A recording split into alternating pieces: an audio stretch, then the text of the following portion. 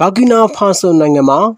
အာနာသိန်းစစ်ကောင်ဆောင်ကိုဖြုတ်ချပြီးနောက်ထပ်အာနာသိန်းမှုဖြစ်ခဲ့ပါတယ်။နောက်အာဖရိကနိုင်ငံဖြစ်တဲ့ဘာကီနာဖာဆိုမှာအာနာသိန်းကောင်ဆောင်ဒုတိယဗိုလ်မှူးကြီးပေါ်ဟင်ရီဆန်ဒေကိုဒန်ဘီဘာကိုဖြုတ်ချကြောင်း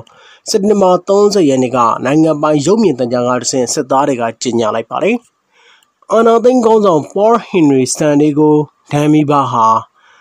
ဒုတိယဗိုလ်မှူးကြီးဖြစ်ပြီး သူဟာသမရယာတို့ကို6လကြာရယူခဲ့ပြီးနောက်ပြန်လည်အသိမ်းခံရတာဖြစ်ပါတယ်။နိုင်ငံရဲ့နေဆက်ဒေသတွေကိုပိတ်ထားလိုက်ပြီးဖြစ်ကြောင်းနဲ့ည9နာရီမှမနက်9နာရီထိ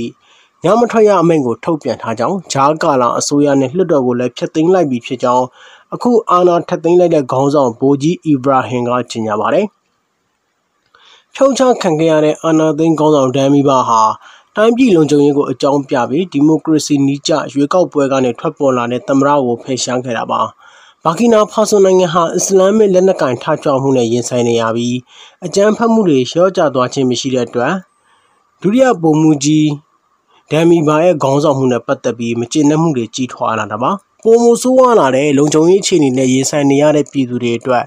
ကျွန်တော်တို့မျိုးသားကာကွယ်ရေးတပ်ကတပ်မှုကြီးတပ်မှုငယ်တွေအနေနဲ့တိုင်းပြည်ရဲ့လုံခြုံရေးအချုပ်ချာအာဏာတည်တံ့ခိုင်မြဲရေးတို့ကာကွယ်ဖို့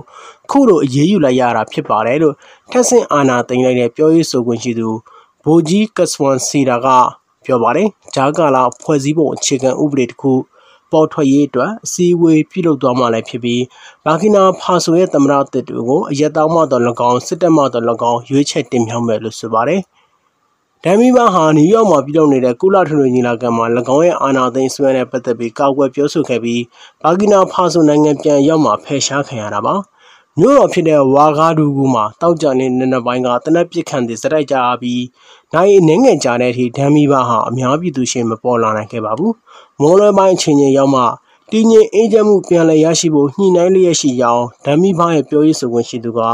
သမရာယုံ Facebook စာမျက်နှာကတဆင့်ကြေညာပါတယ်။ ဒမ်မီဘာကိုဖြုတ်ချလိုက်ကြောင်းတရားဝင်ကြေညာခြင်းမပြုမီကပင်အပြောင်းလဲလိုလာတဲ့ပြည်သူတွေကလမ်းပေါ်ထွက်ပြီးပျော်ရွှင်နေကြပါတယ်။အနောက်အာဖရိကနိုင်ငံတွေမှာအလားတူဖြစ်စဉ်တွေမကြာခဏဖြစ်လေရှိပြီး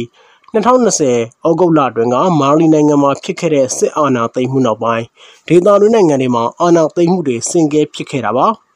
။မာလီနိုင်ငံကလည်းအာဏာသိမ်းမှု6လကြာပြီးနောက်ထပ်ဆင့်အာဏာသိမ်းမှုဖြစ်ခဲ့ပါတယ်။